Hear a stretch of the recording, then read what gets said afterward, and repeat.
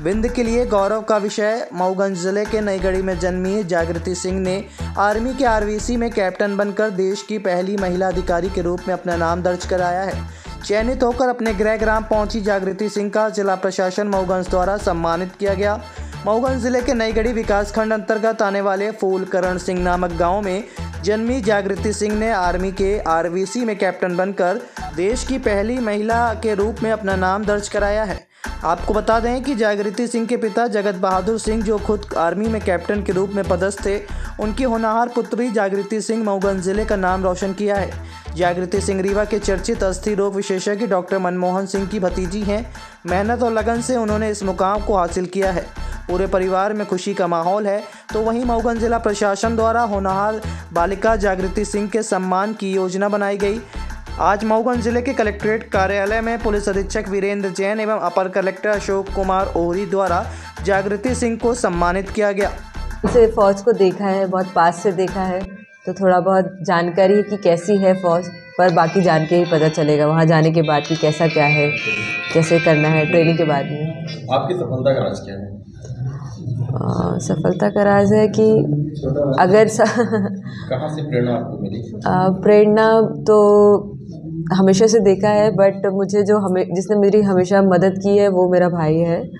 उसने मेरे को बताया है कि कैसे करना है क्या नहीं कर मतलब कैसे अपने आप को फिज़िकली और मेंटली फिट करके रखना है ताकि चीज़ें अच्छे से होती रहे।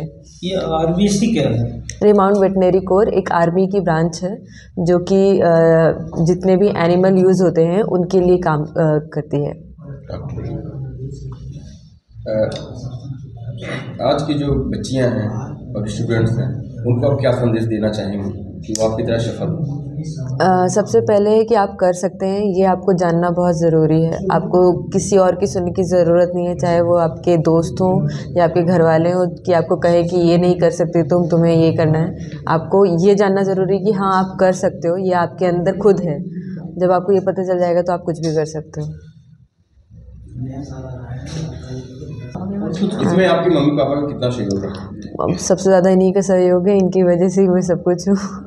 इन्होंने मुझे जिस तरीके से पाला पोसा है जो मेरे अंदर क्वालिटीज़ आई हैं कहीं ना कहीं इनकी वजह से ही आई हैं तभी वो क्वालिटीज़ मैंने आगे निखारी हैं और वही क्वालिटीज़ की वजह से मेरा सिलेक्शन हुआ है।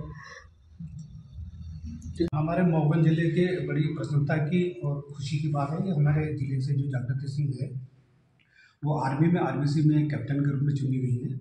इसलिए हमने उनको जिला प्रशासन की तरफ़ से सम्मान किया है। इससे और लोगों को भी प्रोत्साहन मिले। और जागृति सिंह को भी और ज़्यादा प्रोत्साहन के रूप में खुशियाँ मिली मऊगंज क्षेत्र में आप इस तरीके के मैसेज देना चाहेंगे जो कि और युवा लोग हैं? बस उसका उद्देश्य यही था प्रोत्साहन देने का कि और लोग भी इस प्रकार से प्रोत्साहित हो और उसमें नई नई दिशाओं में जाएँ। सर, जो अभी अध्ययन छात्र छात्राएँ हैं उनके लिए आप अपनी तरफ़ से क्या संदेश देना चाहिए सर उनके लिए भी यही संदेश है कि बहुत क्षेत्र है और अपनी योग्यता का उपयोग करें, अच्छे से अच्छे प्रयास करें। और जहाँ भी प्रशासन की मदद की आवश्यकता है, हम लोग तैयार हैं प्रशासन की तरफ़ से।